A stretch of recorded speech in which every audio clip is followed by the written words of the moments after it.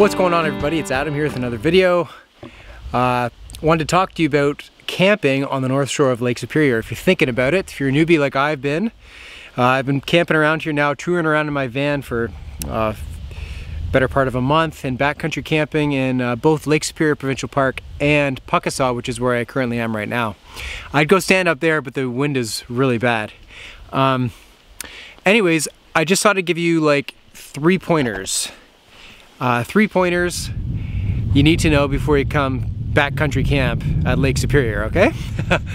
Ones that I wish I knew. Um, first one is it's cold. Like, not just the water, everyone knows you can't really swim in Lake Superior. Like, if you're planning on swimming in Lake Superior, I hope you're, you know, Wim Hof, that cold training guru guy. Um, it's freezing but that's not necessarily what I, what I mean. Uh, what I mean is the actual air, like the weather is colder. Picture like you're in your living room and you got a big old bathtub full of ice and a big fan behind the ice blowing straight at you. Like the lake is freezing. There's always a breeze coming off the water right at you onto land. And you're gonna feel that cold breeze. Like I've had a toque on most nights. Uh, and this is end of July. This is a height of summer.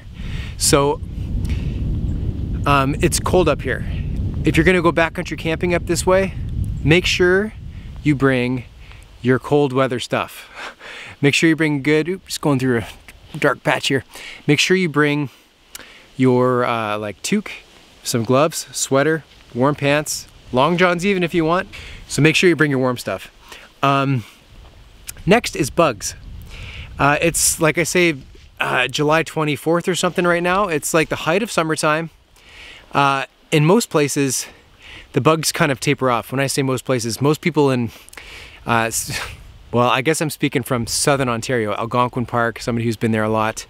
Uh, people from, you know, that, that aren't used to bugs, aren't used to camping, and are used to like more southern parks uh, or natural areas. The bugs are brutal in July here. I've been swarmed every day, uh, like, you know, head to toe at certain points of the day. So um, be prepared for that. August is probably a bit better. Um, but July is like, you know, July 24th, and they told me when I got here it's the height of bug season, and they were right. Um, and it's hard because, you know, you're hiking in July, you're hot um, in the woods, you, the sun's beating down on you, and you stop to rest and you immediately get swarmed, right? So be prepared for that. A lot of bugs in the middle of July when you'd think they'd be gone. um, and number three, Superior is the master around here.